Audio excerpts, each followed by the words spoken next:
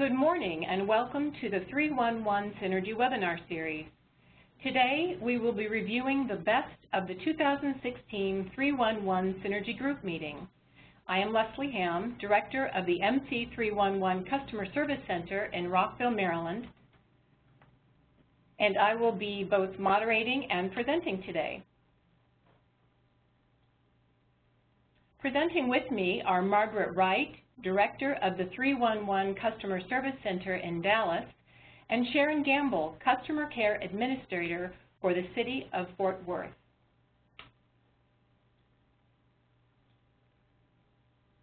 Let's start with a brief overview of the 311 Synergy Group. We are an industry networking group for current and prospective 311 customer contact employees throughout North America. There is a lot of information sharing, networking, education, and it's a lot of fun. This group is open to all municipalities with an interest in 311, and we invite you to join our group on LinkedIn.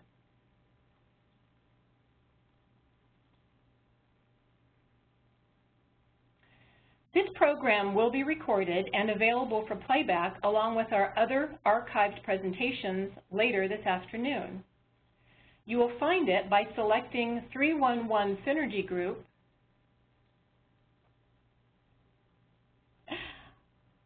under the Webinars drop-down menu on the csweek.org homepage.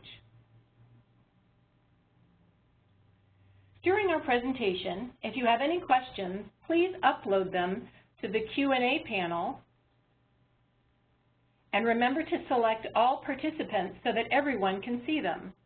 We will address your questions at the end of the presentation where we have allotted time for questions and answers. With that being said, let's get started. A little bit about this year's participants. Of those who completed the survey, and there were 52 participants who actually completed the survey, 52% were first-timers and 8% attended for the third time. 100% of the respondents work for a municipality or other government agency. 24% had made a presentation at the 311 Synergy Group meeting.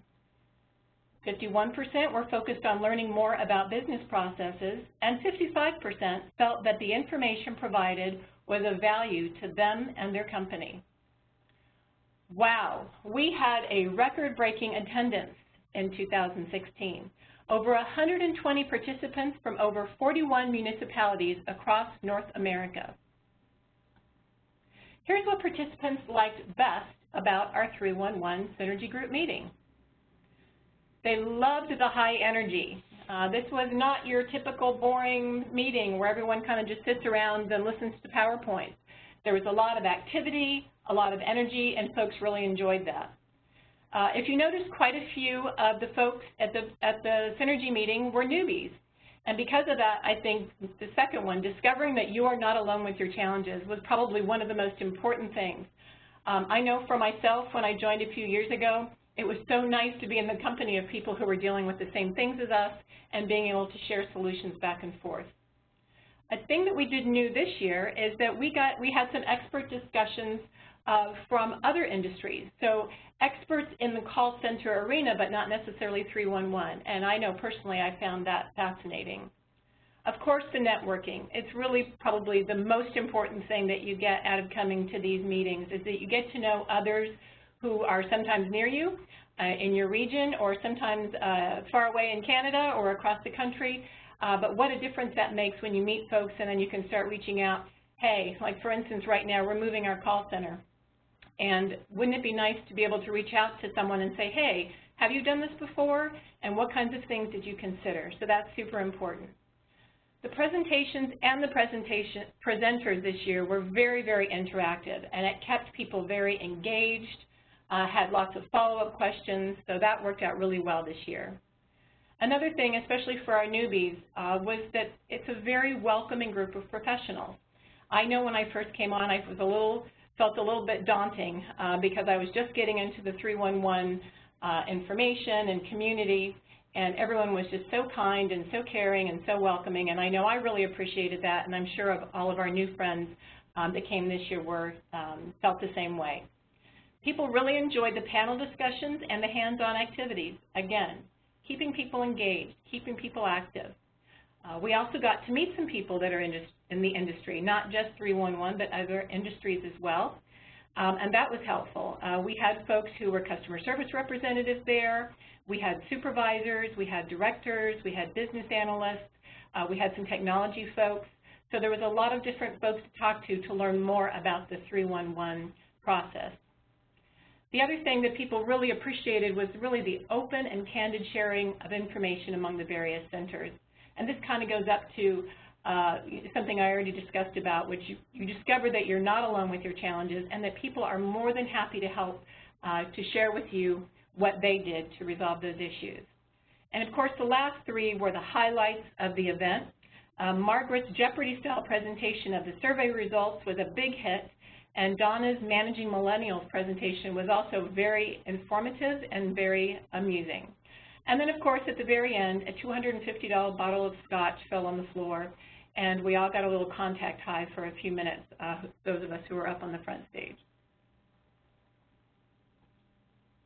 All right, so this is one of these word walls. I love these, but it kind of points out, gives you an immediate um, idea of the kinds of things people loved. Presentations you can see is big, the interactions, the discussions, the networking, um, hearing from each other about the kinds of things that they do. Uh, people really, really enjoyed that opportunity. All right, so time to get ready for CS Week 311. We want you to start making your plans to join us in Texas for our first ever 311 conference in May of 2000, uh, excuse me, 2017 at the Fort Worth Convention Center. You can visit us at www.csweek.org to learn more about that. And pretty soon, there's going to be a new website coming, so you'll have even uh, more information than we do now. This is a good time to start talking to your senior leadership about how your experience at this year's meeting had such a positive impact on your people, your processes, and your technology.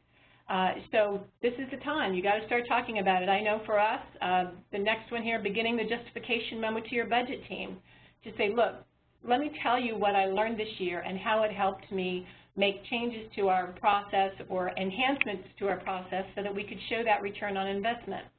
For instance, after the first year I came to the conference, I learned about what was happening in Philly with their community engagement team, and we've been really struggling about kind of getting the word out about 311 in our community. So I came back, we got all set up, we've been doing it now for a couple of years, and it's been a really, really successful endeavor.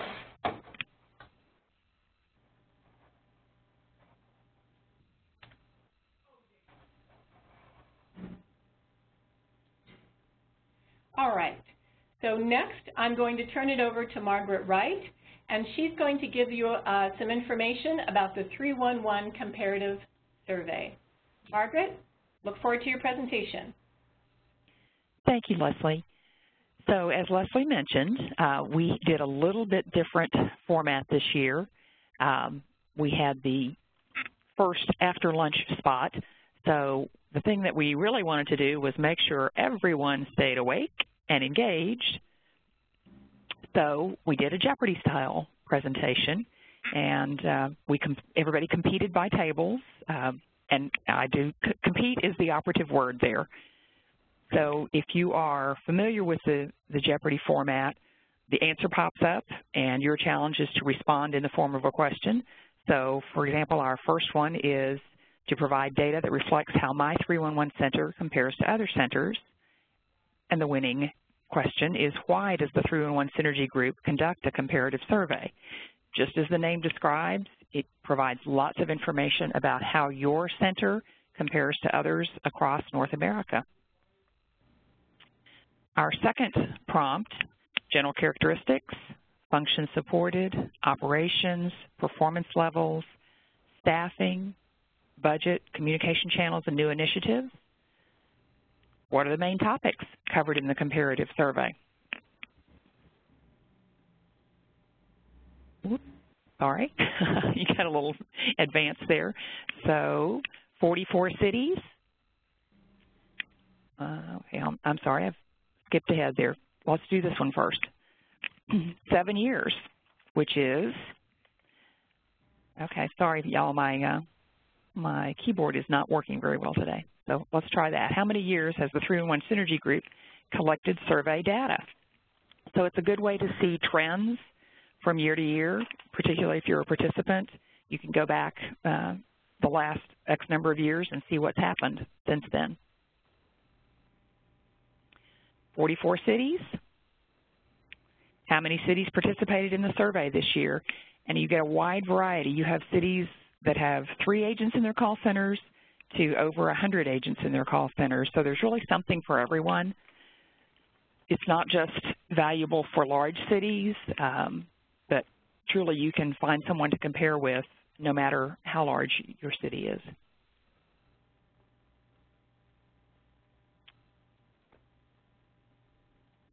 So the next question, or rather the answer prompt, is 27% of 311 centers are similar to McDonald's.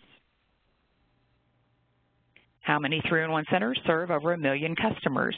That's the most common response, um, but we have uh, any, the second most common response was between 150 to 300,000 customers.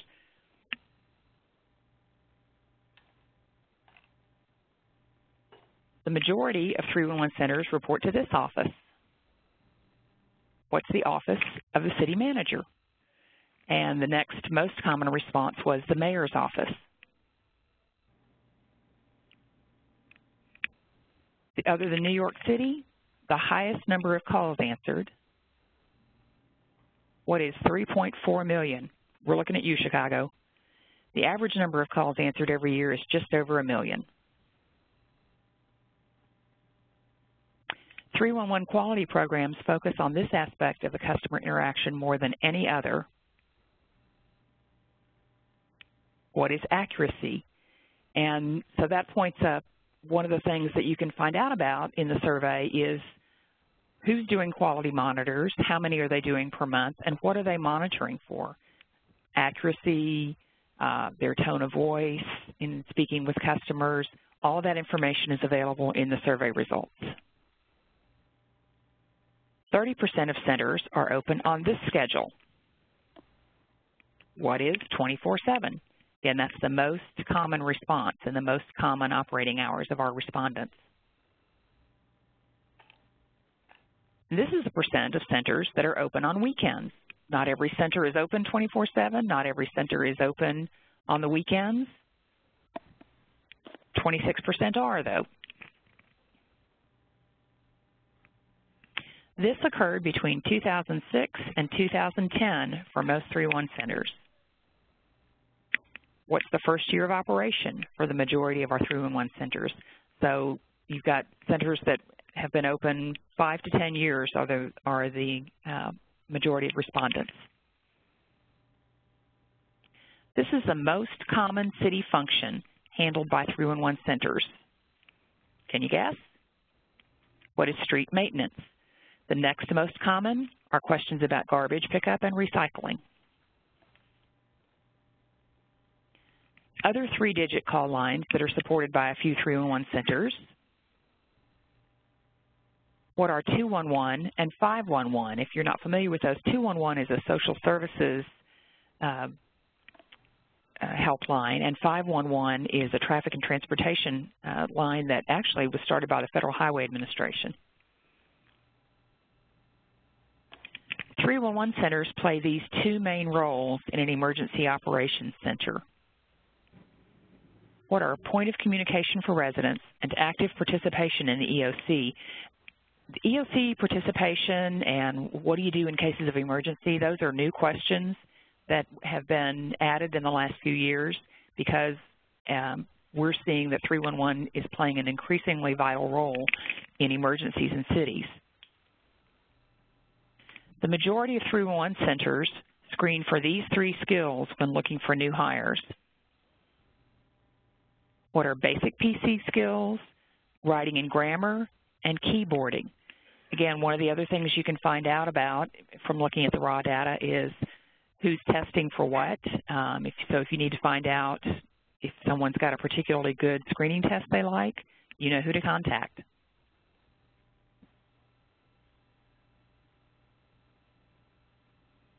Most 3-1 training classes last this long. What is three to four weeks? The majority of 3-1 centers have an abandonment rate between these percentages. What is 0 to 10%? The other thing you can find out in the, in the survey data is what's the service level. Um, you can find out the percentage of handled calls and the average talk time. So again, tons of data. Those who submit their center survey data receive access to this information. What is the 3-1 comparative survey raw data? I will tell you just personally, it's been invaluable for me. I refer to it several times throughout the year, particularly in budget deliberations. It's so helpful to know how my center compares to others and what I can learn from my colleagues across the country. Email Amber Wiens at csweek.org. How can my city participate in the 311 Synergy Group Comparative Survey? If you want to be in the survey next year, please let Amber know. We also have uh, a summary report, um, very high level of the responses. If you're interested in getting that report as well, contact Amber. And with that, I'm going to turn it back over to Leslie. Thank you, Margaret, for the information. Next up, Sharon Gamble from the City of Fort Worth will give us a brief overview of the 2016 311 Technology Survey data. Thank you, Sharon, for joining us today. Thank you, Leslie. Uh, I was on the Technology Survey Committee this year, and it was fascinating to me because I needed to know the equipment that every 311 was taking advantage of. And like Margaret said, the advantage of having the raw data is invaluable uh, when you're making budget decisions and also when you want to talk to the customer, the actual customer that's using the equipment. We took a little different uh, turn on the technology survey. We did a three-year comparison. Uh, we've been doing this uh, survey for three years, and we've learned so much from doing it. Uh, the comparison that we were able to, because we've changed it each year, but we looked at the 24-7, we looked at virtual servers, uh, Active Directory, our CRM, and disaster recovery in the IVR, comparing all three years. Uh, three-year comparison, it was interesting. We're going towards 24-7. Uh, uh, in 2014, we had 35% respond 24-7 uh, hours, and in 2016, we're up to 45%. Our virtual servers, another, we're becoming more technical. Uh, we have in 2014, you can see the the growth of it, 61% to 89% in 2016. Also, Active Directory authentication. It's uh, fascinating that uh, of the people that we uh, responded to our surveys, 90% uh, in 2016 used this directory.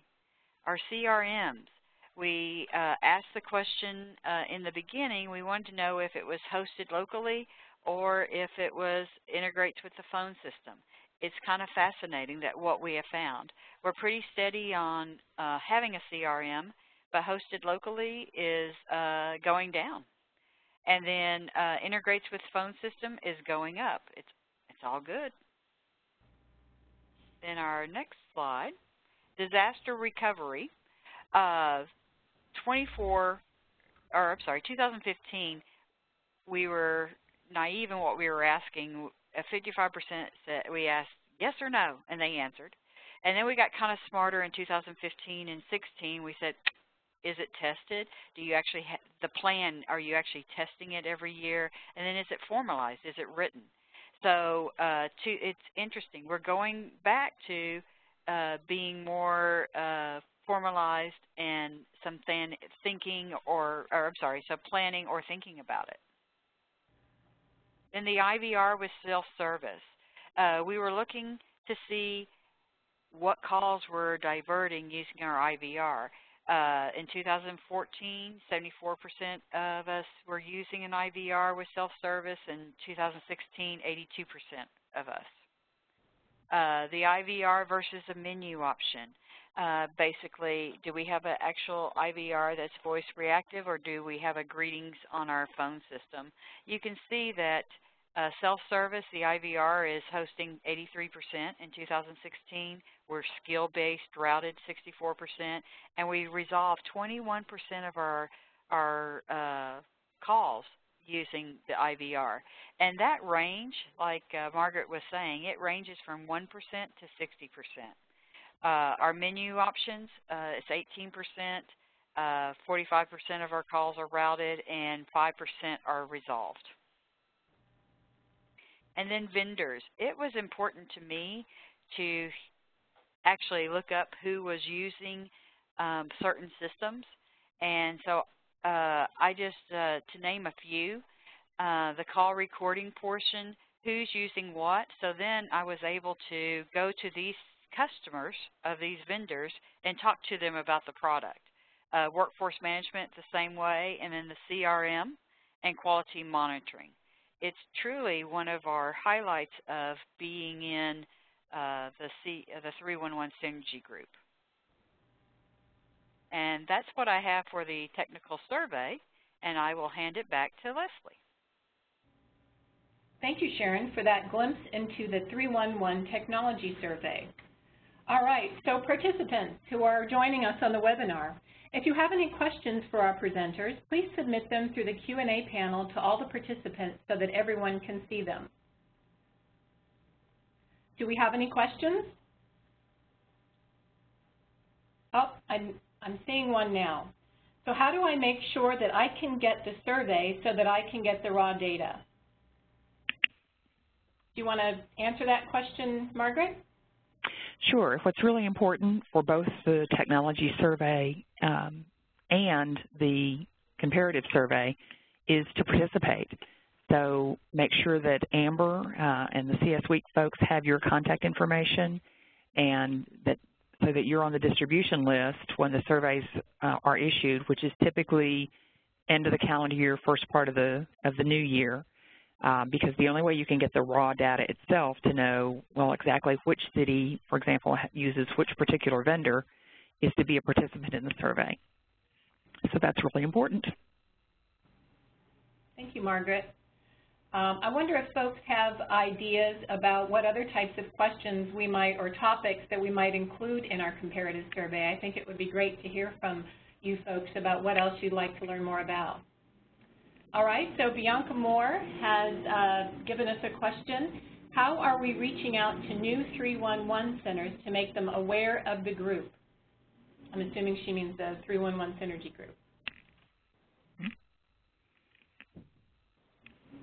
Um, I can I can talk a little bit about that. One of the things that we did um, before the um, this year's uh, 311 Synergy Group meeting is that we tried to really send out information ahead of time. Uh, Tom Lake was on the pre-conference uh, communications committee, and I know he reached out to people personally to see if uh, they were interested in becoming involved. Uh, we also had uh, Patty Mendoza from Austin um, is sending out, I believe, monthly newsletters that talk about the opportunity to get involved with the group and that kind of thing. So uh, there's probably more that we can be doing, um, but at this point, you know, we, that was actually probably one of the, the, criteria that helped us get to such a greater number of uh, participants last year. All right, uh, another question from Dee. Uh, Dee said, maybe I misunderstood, but why did you say that the 2017 conference would be the first 311 conference? So uh, we're actually in the process of uh, doing some rebranding of the 311 Synergy Group. And so right now, just as a placeholder, we're calling it the 311 Conference. Um, you probably uh, remember that uh, usually what we call that is the Synergy Group Meetings. It's not a true conference, um, but we're kind of looking at doing some things a little differently uh, upcoming for 2017. And uh, again, if you kind of watch the, the newsletters, uh, that kind of thing, visit the CS Week website on a regular basis, you'll be updated on kind of the progress we're going to be making to this, this new and exciting venture that we're going to be going on.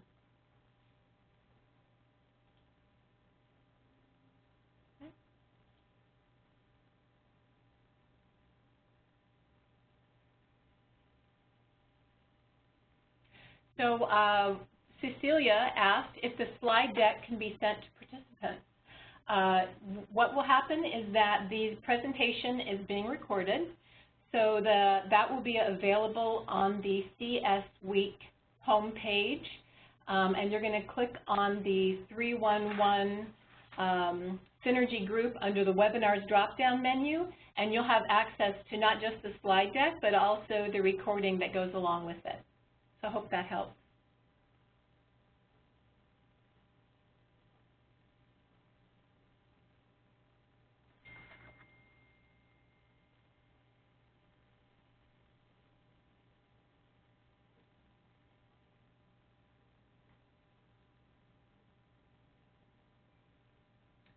Right, so Cecilia uh, has another question. Do you have to have a call center to participate in the survey?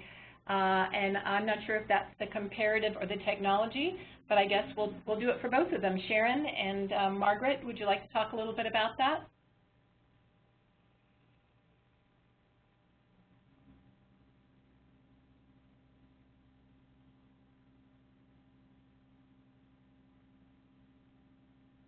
This is Sharon, and uh, the questions on the survey are uh, are tailored to a call center. But if you're in the mix of of uh, creating the call center, uh, the data would be invaluable to you. I know that uh, there is in the comparative survey there is a presentation that is available uh, that you could get a high level view that would be helpful. And this is Margaret. I would I'd add to that that um, again, lots of organizations may have some of the infrastructure, the the technology um, where uh, that that's used by other call centers, or if you're thinking about a call center, as long as you have um, some data to share, um, then we're happy to have you in the in the survey. Thank you, Margaret.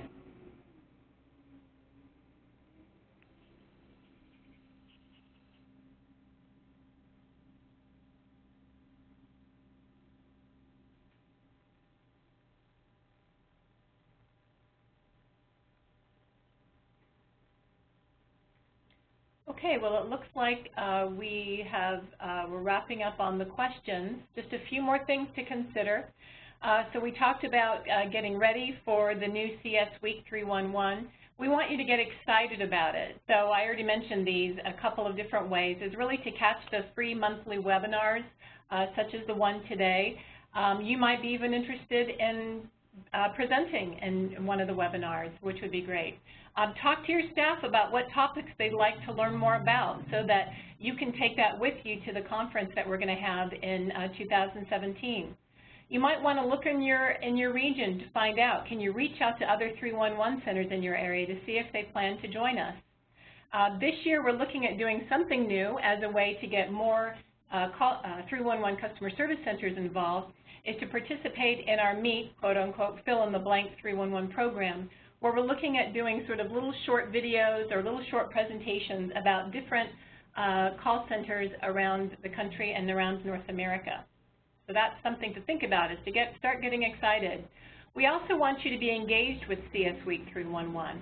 Read the monthly newsletters that um, Patty sends out. They usually have great information in them, and I think you'll get a lot out of it.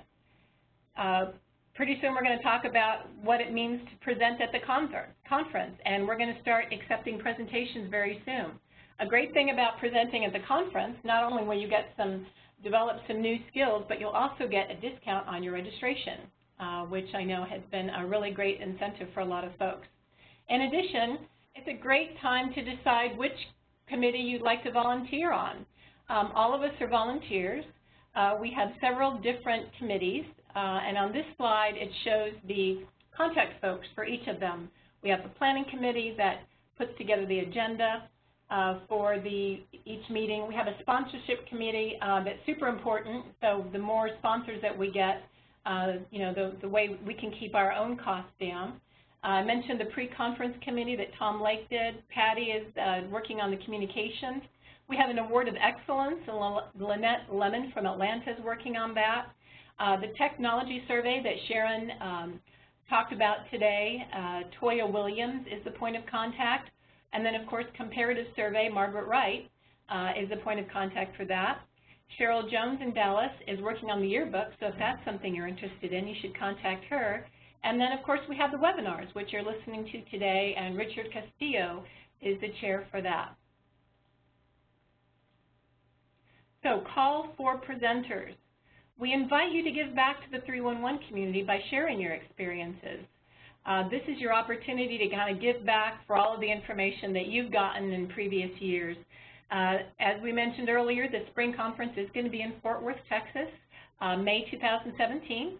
Uh, we haven't actually got the uh, actual dates locked down, but we hope to do so soon. If you're interested in, in presenting, and I hope you are, uh, you want to download the application online, and this is the, the URL that you'd use, www.csweek.org slash web slash 311. So I hope you'll take, you know, try that out and see. I think that you, even though you might be nervous about public speaking, you'll find that um, you'll really, really enjoy it. Okay. Thank you again to our presenters today and to all our attendees. Again, take a look at the 311 Synergy Group found on LinkedIn for industry news and networking opportunities. This will conclude our webinar, and we hope you have a great day. Thanks again.